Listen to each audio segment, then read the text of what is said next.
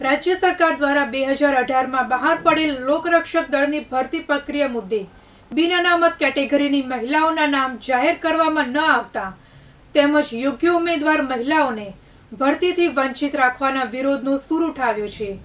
આર્થિક પછાત વર્ગ રત્ન કલાકાર સંઘ દ્વારા આ મામલે કલેક્ટર કચેરીમાં આવેદન આપી વિરોધ ઉઠાવવામાં આવ્યો હતો.